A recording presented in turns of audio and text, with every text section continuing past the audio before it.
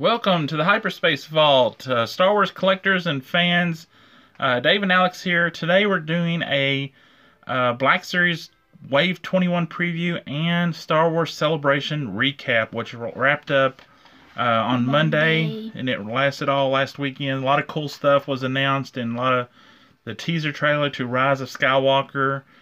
Uh, a lot of cool stuff at uh, Celebration Chicago this year. So uh, we're going to be taking a look first up at Black Series Wave 21. I can't wait for this wave, by the way. Yeah, this wave is coming out this summer and includes Dr. Aphra. Yeah, this looks really cool. It has kind of like the Han Solo style pants. Yeah, nice looking figure. Um, this is a figure or a character from the comic book series, and um, this wave uh, features um, uh, this figure and the two droids. So pretty cool uh, for the fans of that um, comic book series. She comes with a hat that's removable and a blaster.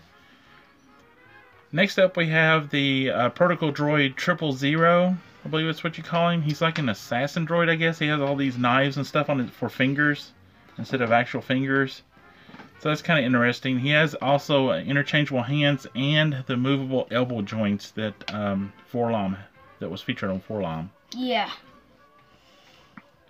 Uh, next up, we have uh, the the astromech droid BT, which is I guess another assassin droid that she uses. I don't we don't know much about the storyline of that or exactly what these figures are for, but um, pretty kind of interesting with all these different attachments on the droid. And he looks, his head looks really cool because he has like a bunch of guns and stuff. Imagine if you saw that coming towards you, what would you do? Next up, we have Ezra Bridger. Now, this is this one that we're really looking forward to. Um, Ezra looks phenomenal here. Uh, the face sculpt, the head sculpt looks great. He comes with his lightsaber, blaster, and helmet. Alex, I know you're really looking forward to Ezra. Yeah, he's my favorite character from Star Wars Rebels, and I really can't wait until this figure.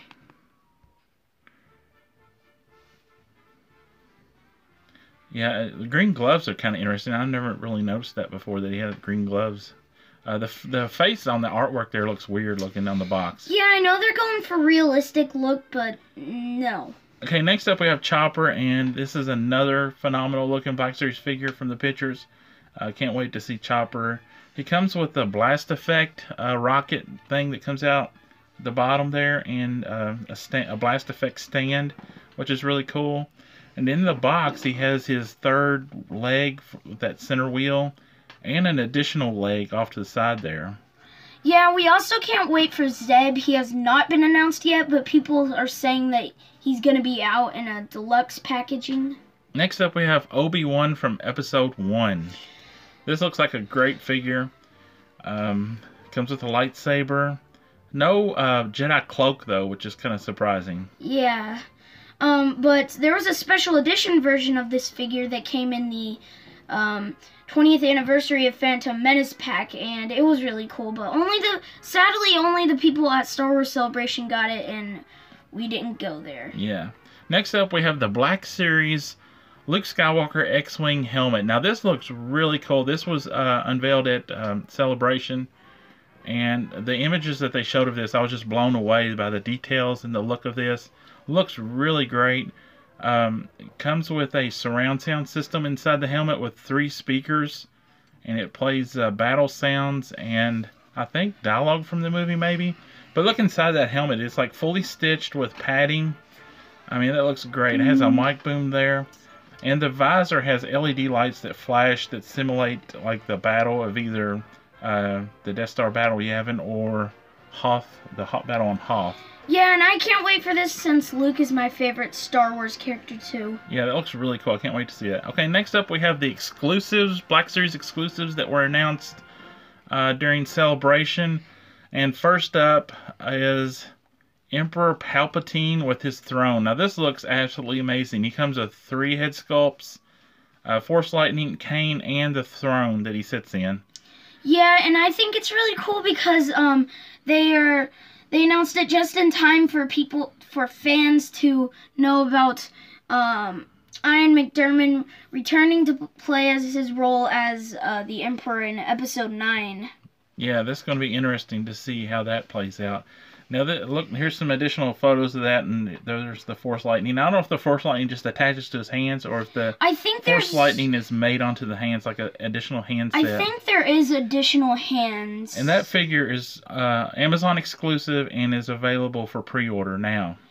Next up, we have Galaxy's Edge. Uh, some sets from Galaxy's Edge that are exclusive. this, this- is a four pack because it comes with that droid. Yeah. But um, I like the Golden Trooper from Resistance. And then there's a droid pack uh, that includes Rex, the the former droid that used to take the Star Tours, and uh, the first C-3PO with working elbow joints.